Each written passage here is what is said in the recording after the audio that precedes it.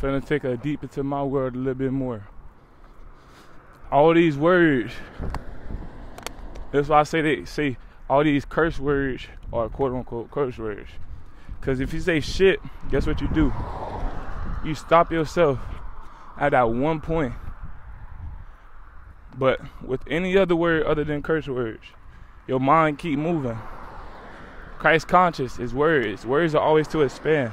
If you use your words to stop something, then that's a curse. Use acronyms. Split words in half so you can actually get the formula and the full model the full modelization of what words could be. I could be like, oh, you a shithead. You a secure, honest, intuitive, trusted, honest expander, affirming determination.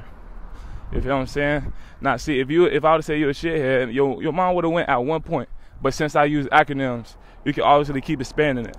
Determination is expansion word, you know. So whatever you determine to do, it's gonna be more than one thing. No matter if you sit back and say, "I'm only gonna do one thing" and be determined at it, you're gonna find yourself doing another thing.